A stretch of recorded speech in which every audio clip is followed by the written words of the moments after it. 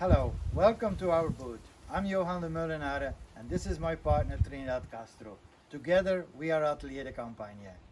I met Johan 25 years ago, and for the last 20 years, we have been bringing containers filled with French and other European antiques and vintage.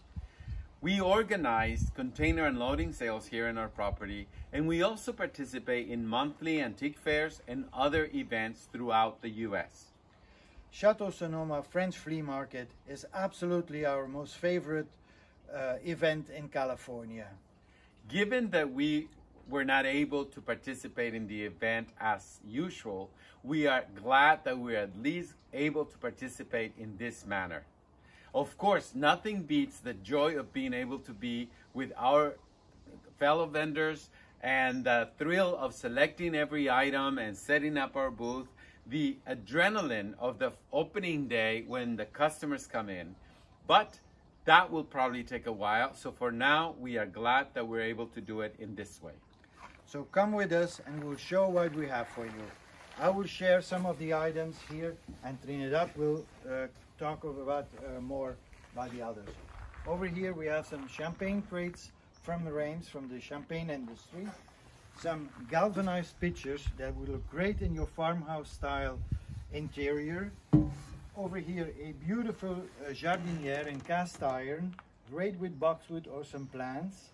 I'm sitting here on this large wooden bench that has two compartments to store uh, blankets in on your porch. Moving over here, a pair of regal looking uh, lions that will make a great statement at the entrance of your home. Up here, a fabulous pair of um, uh, cast iron urns with some topiaries, but also looking good with a flower arrangement.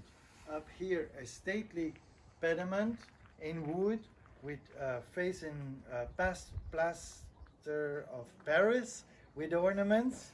And coming inside, we have some stout stoneware grass pots sitting on a typical um, wine tasting table that folds. Um, and moving to this piece uh, here, a statue of a uh, blacksmith, a signed piece by an artist Picot in Paris.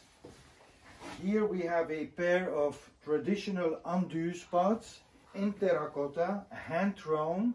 We go by ourselves twice a year to Anduze and select uh, several uh, of these uh, pottery. They are traditionally made in Anduze, like I said. Here a very fine and unusual uh, shell, concrete shell, that could work as a sink, but also by itself, it is a very nice piece. Sitting on a traditional uh, brasserie table from the south of France with a zinc top. Moving a little backwards, this massive uh, trumeau, wooden trumeau, painted with a beautiful patina. Standing next to it, some uh, impressive uh, large arch shutters. We also have several pair of them. And then showing over here a unusual shape in, in ceramic, an Italian vase that we use for uh, flowers. Let me move those books a little bit. And here we have beautiful bridal mirrors, uh, wooden carved, and especially that little one here is a real bijou. Uh, talking about uh, bijoux, this 19th uh, uh, century globe de mariée is given by the family to the newlywed and the bride afterwards put her the crown of the veil and other mementos uh, in here. All this sitting on this uh, uh, fabulous rustic 19th century uh, pine uh, cabinet. Then moving against the wall here we have some portly uh, French doors from a Maison de Maître with beautiful molding. Hanging in front of it is this uh, flower wreath, beaded flower wreath, which is really a piece of art, seeing all the detail of the flowers uh, handmade. And then above our table here, we have this uh, uh, chandelier that would, uh, this pretty chandelier that will light up your uh, living room. And from here on, Trinidad will take uh, the rest of the tour. So, Johan showed you a trumeau earlier that was a little bit more rustic. And now look at this elegant trumeau. A wooden frame and also plaster of Paris ornament. Ideal for a bedroom or perhaps over a stately fireplace. Now we're going to move outside and we'll show you a few other items. First thing I like to show you is this beautiful handcrafted toy horse in wood and burlap. Think of the hours of joy uh, of the children that got to play with this horsey. Then we have a set of Perigordian confit pots. These beautiful glazed pots would just serve great put wooden spoons in it or perhaps a plant or some flowers. They are sitting atop a um, some wooden boards that served as table risers to knead dough, also to cut up food. And also in ceramic, we have this heavy uh, kneading bowl that is glazed in a buttermilk color. Above me, a petit coquettish chandelier with pink and clear beads. And leaning on the table, you see this hand forged, beautiful, heavy cast iron um, fence or gate.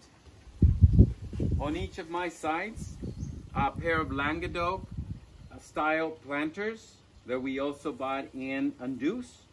We put two uh, olive bushes in them, but they will be also ideal for topiaries or perhaps dwarf lemon trees. Now we're gonna move here, perched on the pillar. We have a zinc oil buff. Normally, this would be the frame for a window on the attic of an old French home. At the front, you will see this traditional bistro table with a heavy cast iron base and it's covered in zinc, along with these two Parisian cafe chairs that are woven and made with cane. We have four of those here, and I'll show you this other bistro table. Sitting on top of the bistro table is a cast iron urn that can easily serve as a planter or perhaps also to create a floral arrangement. Now we're going to go against the building. Here's this beautiful Louis XVI mirror with a very fancy crown. In front of it, we have this amazing, this is one of my favorite pieces. This is a Willie Gold pot that does not really need a function. It just works as a piece of art in my opinion. It's sitting on this larger bistro table or patio table that comes with three chairs, beautiful blue and green hues on it. And the last two items I want to show you are these uh, shutters in such a beautiful yellow that make me think of the south of France. These just amazing like sunflowers along with this Anduze spot in heavy terracotta that matches so well with the shutters. So we hope that you have been able to enjoy our little tour. This is only a portion of what we have here in our home, and we hope that one day you're able to come and visit us and see all that we have for you. Enjoy your shopping weekend. Thank you very much.